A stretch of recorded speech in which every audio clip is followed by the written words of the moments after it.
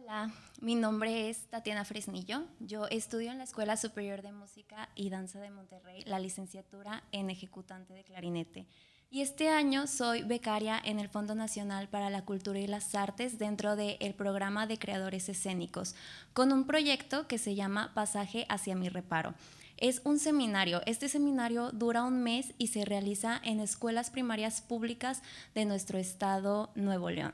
Lo que hacemos los chicos de estas escuelas primarias este, y yo es charlar. Tenemos conversaciones sobre la importancia de criticar, de ser creativos y de analizar todo lo que nos rodea. Al final de cada seminario hay un recitar de clarinete y piano. En el piano me acompaña la pianista Angélica Charles. Gracias, Angie. Bueno, todas estas actividades se realizan en línea por el tema de la pandemia.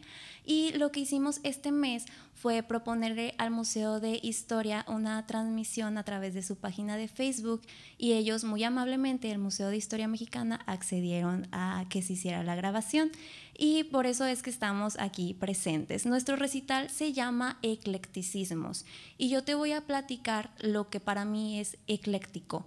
Lo ecléctico busca fusionar distintas piezas y estas piezas pueden ser ya sea de la época antigua, de la época clásica, de la época moderna o de la época contemporánea.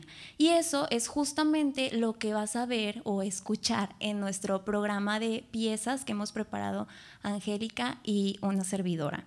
Por ejemplo, la pieza que, acabas de escuchar es la elegía para clarinete solo del compositor Manuel de Elías, compositor mexicano que sigue vivo. Actualmente tiene 81 años.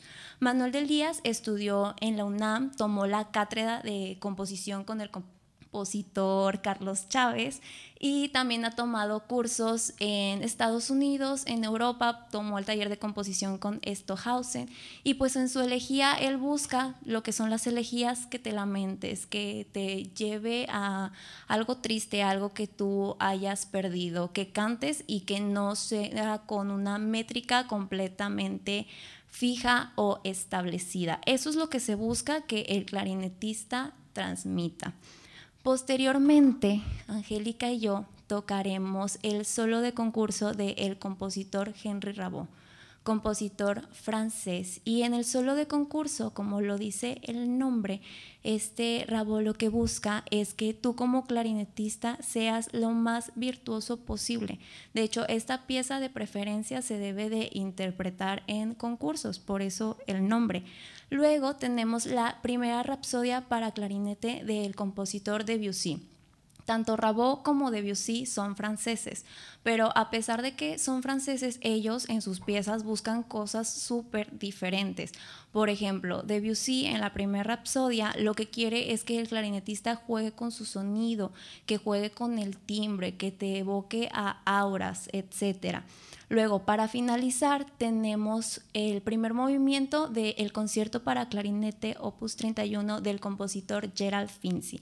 Finzi era compositor inglés, toma muchas influencias de dos compositores de apellido Elgar y Bogan Williams. Y Finzi lo que quiere es en que en el concierto tú seas lo más dramático posible. Ahora bien, yo después de haberte dado toda esta introducción, esta plática, yo espero que con lo que sea que tú te quedes, lo compartas con quien tú quieras mucho y te agradezco bastante por estar aquí viendo esta transmisión y espero que lo disfrutes.